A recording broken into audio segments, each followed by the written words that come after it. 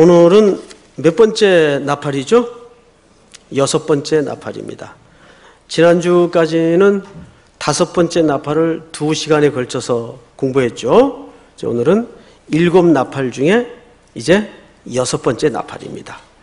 자, 먼저 우리 속, 머릿속에 좀 기억을 하고 오늘 들어갈 내용이 하나 있는데 일곱 나팔은 크게 두 덩어리로 재앙이 구분된다 그랬어요.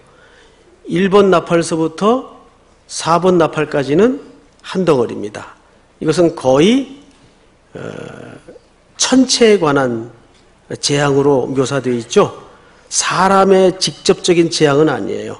천체에 관한 재앙으로 묘사가 됩니다. 또 자연에 대한 재앙이 등장을 하고 그리고 또 크게 두 번째는 다섯 번째서부터 일곱 번째까지입니다. 이게 예, 크게 두 번째 재앙 덩어리인데 어, 그러니까 세 개, 네 개로 나누어지죠. 그래서 지난주 다섯 번째 나팔은 두 번째 덩어리 몇 번째입니까? 첫 번째 재앙이었어요. 뭔 말인지 아시겠어요? 어, 복잡하게 설명했나요? 예, 아니죠, 전혀. 어, 그러니까 지난주서부터 다섯 번째 나팔은 크게 두 번째 덩어리 중에 첫 번째 재앙이었습니다. 그러면 오늘은 그 두 번째 중에 2-몇 번입니까? 2-2번이죠. 자, 그래서 1절을 다시 보세요. 이렇게, 어, 12절을 다시 보세요. 첫째 화는 지나갔으나, 보라, 아직도 이후에 화 둘이 있으리로다. 잘 보세요. 첫째 화는 지난주 공부한 다섯 번째 화를 얘기합니다. 그 화가 이제 다섯 번째 나팔이 불무로서 지나갔어요. 그러면 몇 개가 남은 겁니까? 그렇죠.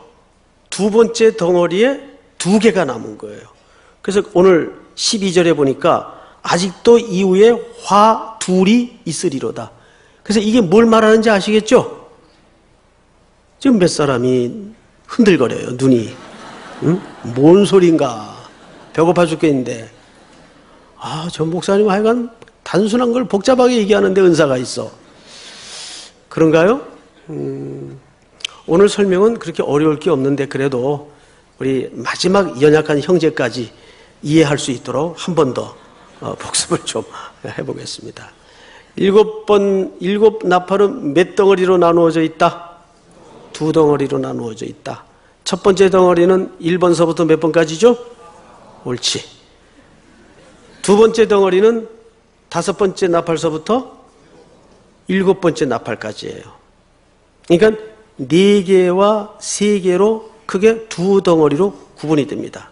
지금 우리는 첫 번째 덩어리입니까? 두 번째 덩어리입니까? 두 번째 덩어리를 들어왔어요. 그리고 지난주 다섯 번째 나팔이 불었어요. 그럼 이제 몇 개가 남은 겁니까? 두 개가 남은 거예요. 12절이 그 얘기예요. 12절 제가 다시 읽습니다. 첫째 화는 지나갔으나 다섯 번째 재앙을 얘기하는 거죠. 보라 아직도 이후에 화 둘이 이르리로다. 그러니까 여섯 번째, 일곱 번째 나팔이 남아 있다 그 말이에요. 그럼 오늘은 몇 번째라고요? 그 여섯 번째 나팔이에요. 자, 13절을 볼까요? 맞죠? 다 같이 읽겠습니다. 시작.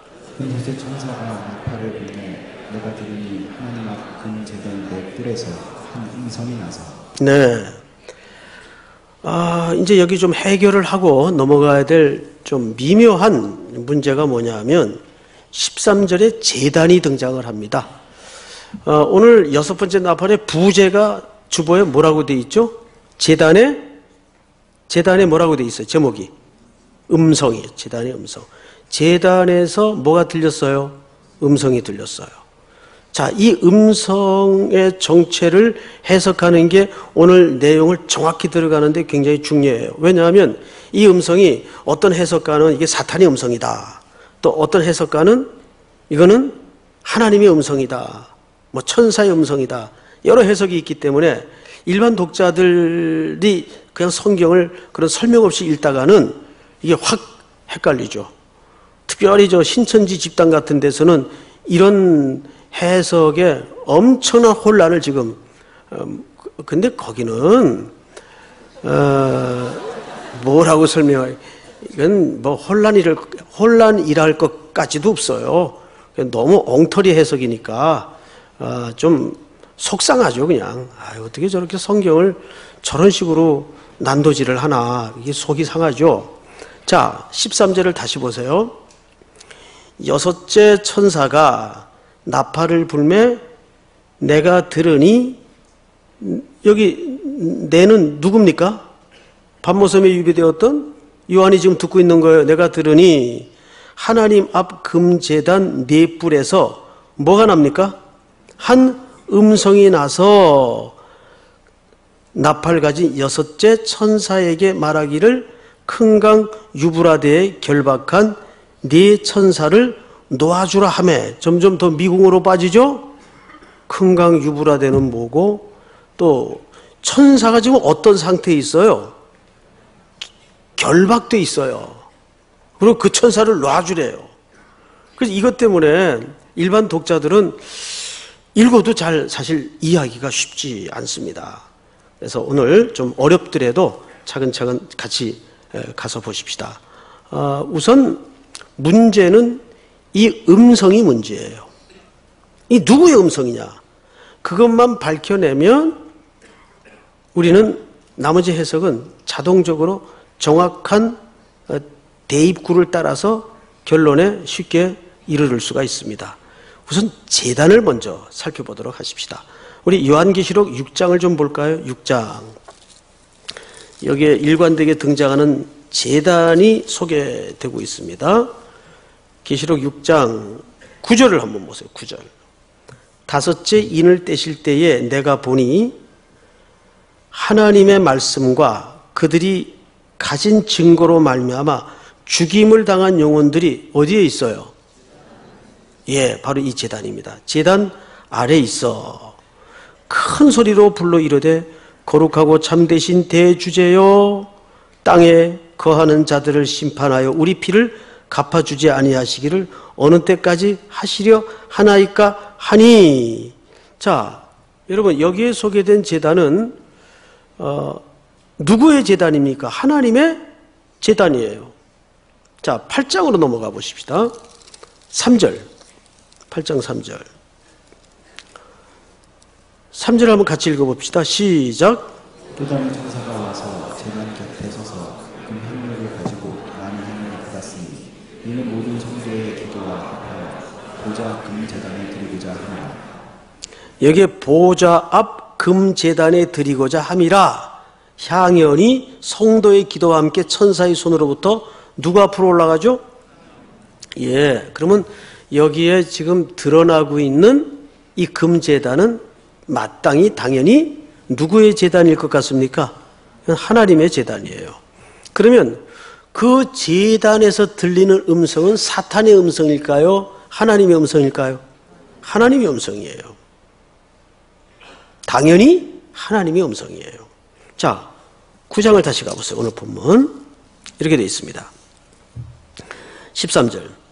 여섯째 천사가 나팔을 불매 내가 들으니 하나님 앞 금재단 네 뿔에서 한 음성이 나요. 이 음성은 당연히 누구의 음성일까요? 하나님의 음성이란 말이에요. 근데 그 음성에 이제 내용으로 들어가십시다. 음성이 들리긴 들렸는데 뭐라 그러시느냐? 그 다음 절 14절 다 같이 읽겠습니다. 시작. 나팔 가진 여섯째 천사에게 큰강 울그라데에 결박한 내 천사를 올라주라 하네 예. 자, 앞을 잠깐 보십시다. 무슨 강이 나와요? 큰 강 유브라데. 여러분 혹시 어, 우리나라가 이게 나누어지지 않은 상태에서 우리나라의 국경을 가늠하는 대표적인 강 이름이 뭡니까? 압록강이에요. 또 하나 더 갖다 붙이자면 두만강, 압록강으로 가를 수가 있어요. 어, 저 북쪽 압록강 하면 벌써 거기는 우리가 중국과 우리나라를 러시아와 우리나라를 갈라놓는 국경에 해당하는 무슨 강이 흐르죠? 압록강과 두만강이 흘러요. 그런데 이스라엘 땅에도 그와 유사한 상징의 강이 유브라데 강입니다. 그래서 이 유브라데는 그 북쪽, 그 북 정확한 방향은 북동쪽이에요. 근데 대충 그냥 북쪽이라고 합니다. 그 북쪽에 어떤 나라가 항상 존재해 있었는가 하니 열강이 그 자리에 자리 잡고 있었어요. 유브라데 강 건너편에. 그 열강이 주로 여러분들 역사 시간에도 등장하는 또 성경책에도 성경의 중요한 백그라운드가 되는 아수르, 바벨론, 또 하나가 뭐죠? 페르시아, 바사메데 제국 성경에 등장하죠? 예. 그리고 이제 그 후에는 로마 제국이 등장을 합니다. 그런데 로마 제국은 위치가 거기가 아니니까 제외를 하더라도 페르시아, 아스, 아수르, 바벨론 전부 북 동쪽 지역에 유브라덴 강을 접한 북쪽 지역에 존재하고 상존했던 나라예요. 그러면 그 나라들이 주로 했던 역할이 뭐냐? 어마어마한 제국이었죠. 바벨론 제국만 해도 무시무시하죠. 영원히 망하지 않을 것 같았던 제국 또한 아수르였습니다. 페르시아 말할 것도 없고. 그런데 하나님은 이 세계적인 제국을 통해서 항상 어느 민족을 키우고 기르고 만드셨습니까? 이스라엘이에요. 그래서 이스라엘을 정결케 하는 막대기로 열강들을 들어 쓰시곤 하셨습니다. 참 역설이죠. 그 얘기를 하는 거예요. 자, 그런데 오늘 14절을 다시 보세요. 나팔 가진 여섯 째 천사에게 말하기를 큰 강 유브라데에 결박한 네 천사를 놓아주라. 지금 이 천사의 상태가 자유로운 상태가 아니라 뭔가 매여 있고 결박되어 있단 말이에요. 그래서 우리는 이 이야기를 조금 실질적인 배경이 되는 이사야서로 한번 직접 아, 건너가 봅니다. 이사야서 8장을 다 여세요. 자막 없어요. 빨리 찾으세요. 이사야서 8장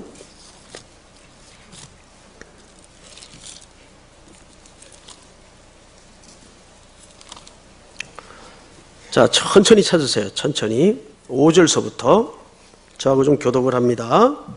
5절서부터. 자, 찾으셨으면 아멘 하십시오.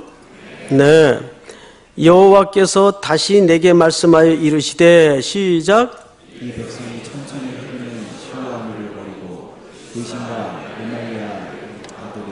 자, 거기 보면 이 백성은 이스라엘 백성을 말하는 거예요. 근데 그들이 뭘 버렸어요?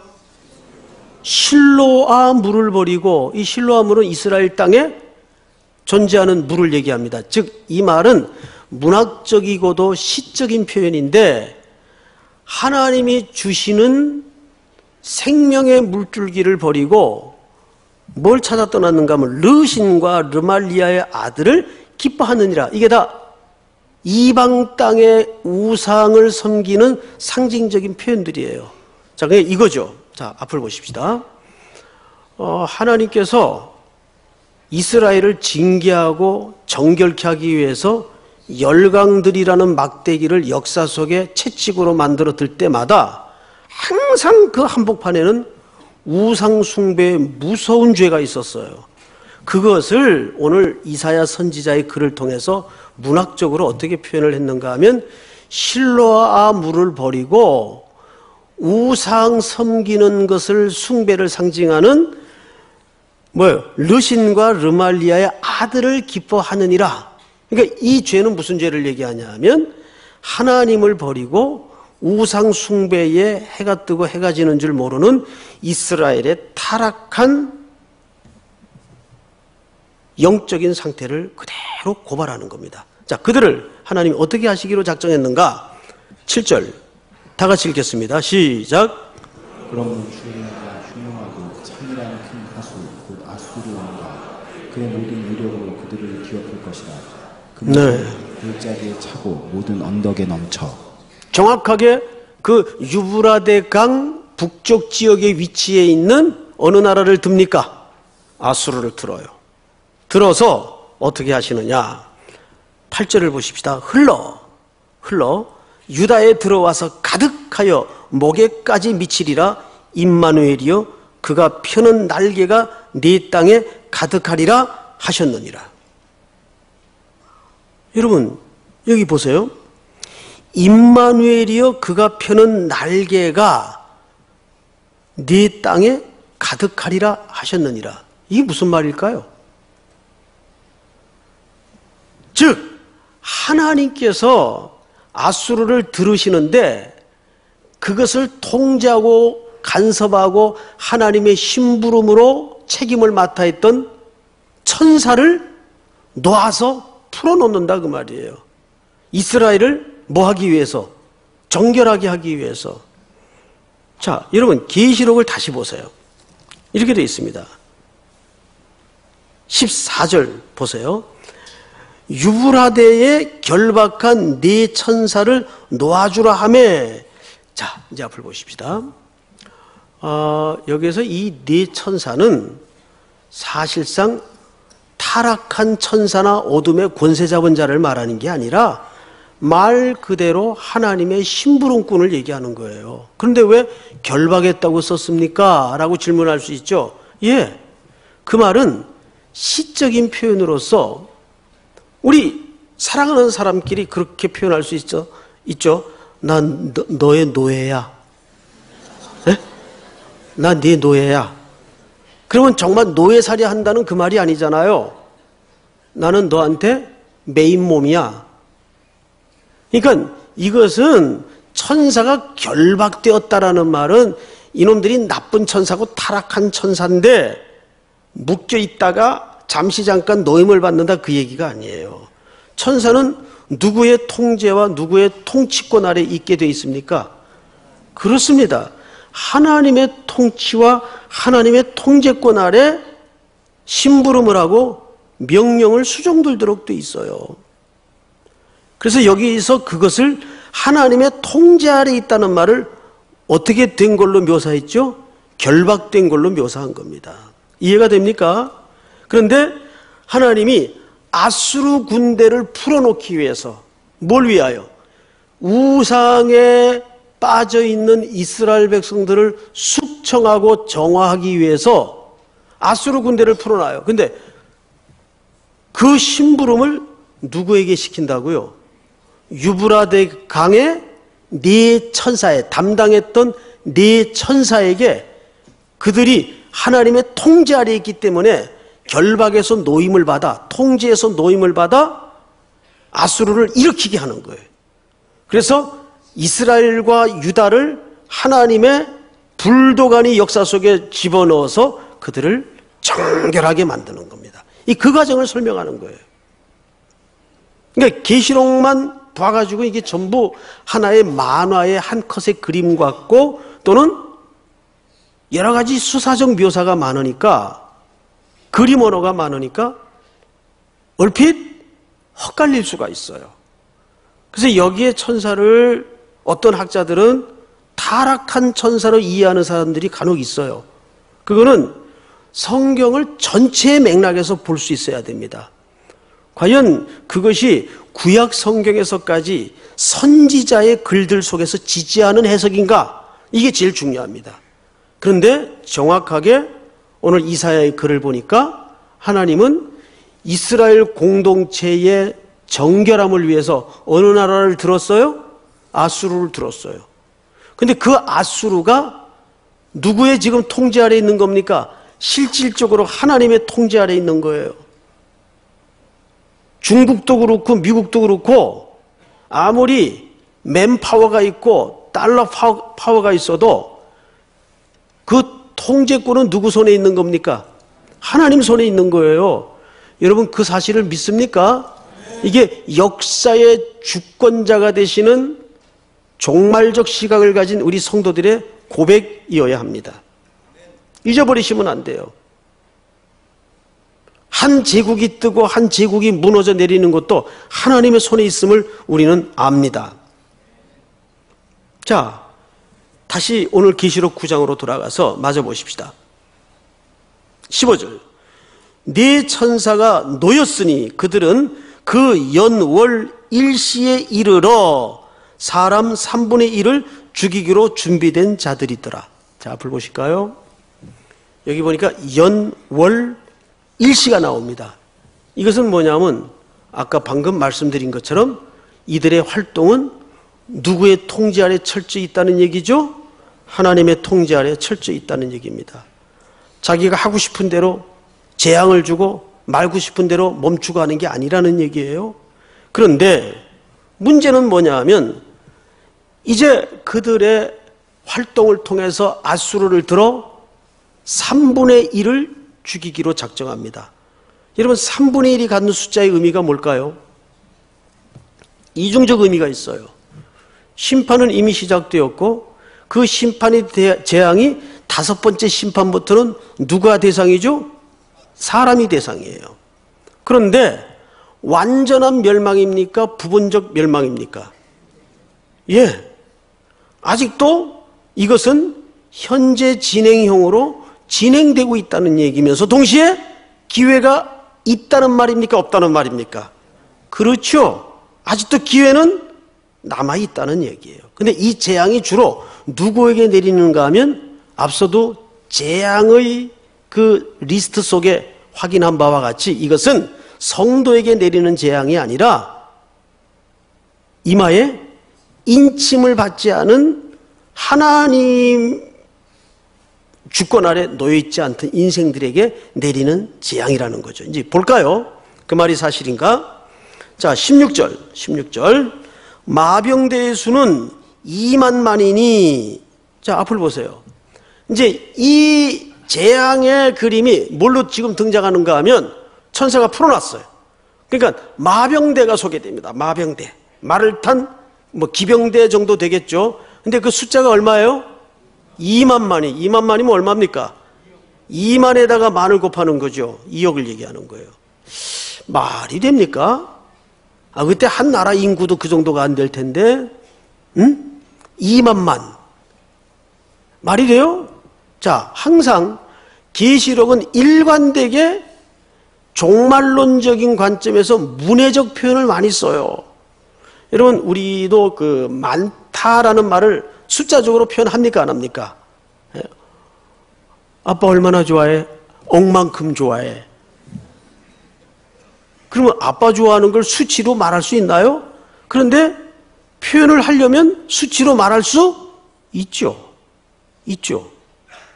그러니까 여기서 2만만이, 2만만이라서 2억을 얘기하는데 그때 세계 인구를 탈탈 털어도 2억이 될까요?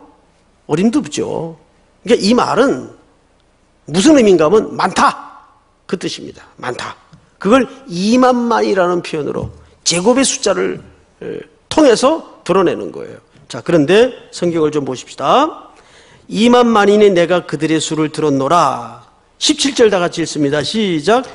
이 같은 환상 가운데 그 말들과 그 위에 탄 자들을 보니 볼빛과 자줏빛과 유황빛 호신경이 있고 또 말들의 머리는 사자머리 같고 그 입에서는 불과 연기와 유황이 나오더라. 네. 여러분 여기 재밌는 신약에 우리가 봤던 그 전신갑주의 내용 하나가 등장을 하는데 호심경이 등장을 해요. 유황빛 호심경. 호심경은 우리 교회론 할 때 마지막 시간에 에베소 6장 전신갑주를 공부하면서 어, 다루었던 항목 중에 하나이기도 합니다. 물론 잊었겠지만. 응? 호신경이 뭐 하는 거예요? 호신경. 가슴에 방패용 무기죠? 가슴을 막는 거예요. 가슴을 막는 건 뭐죠? 왜 가슴을 막아요? 항상 여기는 의를 얘기해요. 의. 예, 진리. 그래서 오늘 이 마병으로 등장하는 것은 사탄적 존재가 아니라 하나님의 심판의 도구로서 하나님의 말씀을 순종치 않은 자들에게 뭐가 되죠? 재앙이 되지만 그 말씀을 순종하는 자들에게는 뭐가 됩니까? 은혜와 복락의 말씀이 되는 거예요. 그래서 육신으로 이 땅에 말씀으로 오신 예수님은 예수님이 오시는 그 순간부터 떡으로 오시는 그 순간부터 그를 영접하는 자에게는 하나님의 자녀가 되는 권세를 주셨지만 영접지 않은 자들에게는 음부에서 슬피 울며 이를 가는 일만 남겨진다 그 말이에요. 그러니까 예수님이 이 땅에 오시는 것 자체로 심판과 구원이 명확관하게 이미 갈라진 거라고요. 여기서 그 얘기를 하는 겁니다. 자, 성경을 또 볼까요? 그래서 갖고 그 입에서는 불과 연기와 뭐가 나옵니까? 유황이 나옵니다. 이거 어디서 봤던 그림이죠? 소돔과 고모라가 심판 전에 그 집 가장인 롯을 통해서 하나님이 하나님의 메시지를 전달했나요? 안 했나요? 누누이 전달했지만 그 롯의 사위들이 뭘로 여겼다고요? 농담으로 여겼더라. 농담이라는 말은 먼지라 그 말, 먼지처럼 여겼더라. 이 뭐야 이거?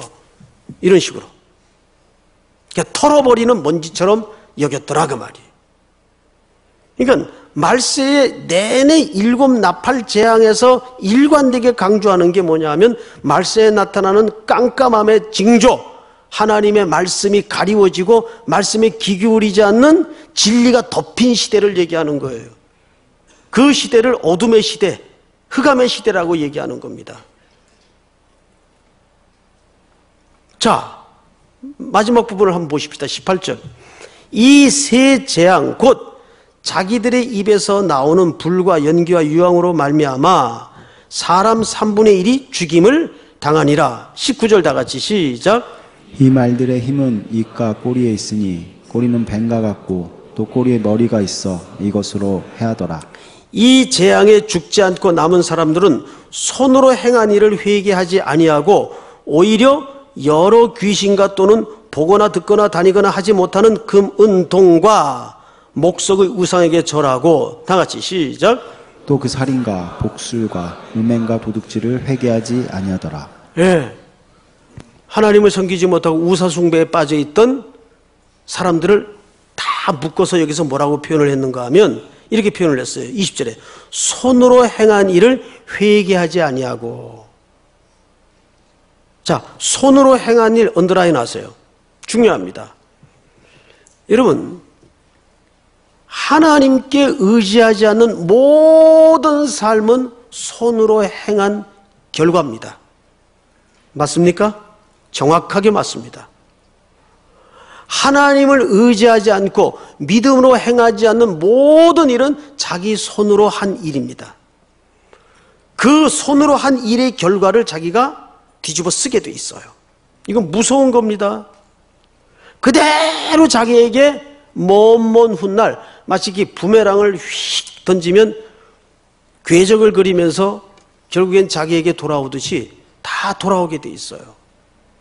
이것은 응과, 인과 응보의 그런 개념보다 더 무서운 개념입니다. 그이 땅은 딱 두 종류로 나누어집니다. 지금 이 나라의 정부가 오랜 세월 동안 그 뿌리 깊게 누적되고 싸우고 잉여되어 왔던 결과물들이 지금 어떻게 된 거예요? 터져 나오는 거예요.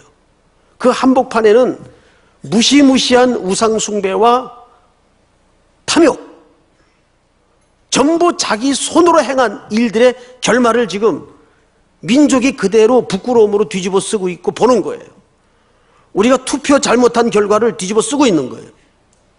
죄송하지만, 죄송하지만.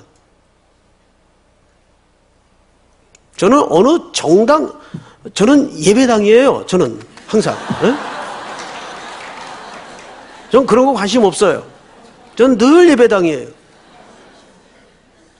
그 얘기를 지금 하는 게 아니에요. 아우, 저는 요즘 화병이 났어요, 화병이. 그냥 TV만 보면은 화가 나요. 이 어떻게 정말 이게 나라냐? 이게 나라냐? 어, 그 말이 너무, 너무 맞아, 너무 맞아. 어, 맞는 게 너무 맞을 수는 없지만은 너무 맞아. 이게 나라냐 도대체. 어떻게 일국의 대통령이 이럴 수가 있나, 이럴 수가 있나. 온 국민을 갖다가 세계 조롱거리로 만들어버리고 참 듣도 보다 못한 일들이 계속 터져 나오니까 정말 백성들끼리도 얼굴 볼 낯이 없어요. 우리가 대한민국 백성 맞나. 근데 이 전부 어디서, 어디서 잉여된 결과물들입니까? 저 자신부터 부끄러워. 손으로 행한 일이에요, 이게. 손으로 행한 일.